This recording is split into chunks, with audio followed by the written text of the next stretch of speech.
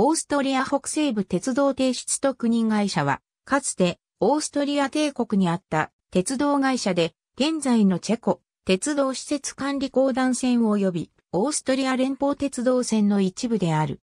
ウィーン北西駅1838年10月、カイザーフェルディナント北部鉄道提出特任会社のフロリツドルフ、ストッケラウ支線を承継して発足し、1841年7月26日に開業した。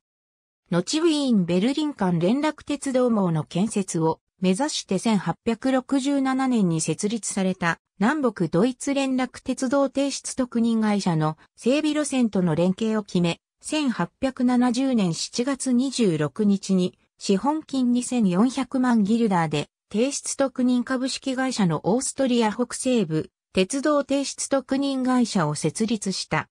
自社建設及びカイザーフェルディナント北部鉄道からの路線譲渡などで、主にモラビア、ボヘミア地方に幹線及び支線網を整備し、後、ボヘミア北部の南北ドイツ連絡鉄道線との運営も一体化した。1895年にオーストリア・ハンガリー帝国政府により国有化が計画されるが、計画は大幅に遅れ1908年に提出オーストリア国家鉄道に編入された。さらに、第一次世界大戦終結後の提出オーストリア国家鉄道の解体で、1918年に一部路線を除く、ほぼすべての路線がチェコスロバキア国家鉄道に編入された。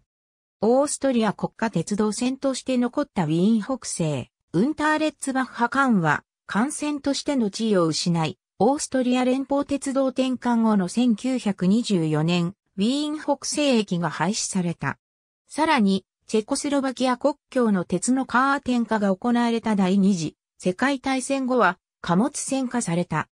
一方、チェコスロバキア国鉄に承継された路線はチェコにおけるアカン線及び地方専網の一部として存続し、チェコスロバキア連邦政解消に伴い、1993年にチェコ鉄道公団が承継。2003年のチェコ鉄道公団上下分離で、鉄道施設管理公団に移管された。ありがとうございます。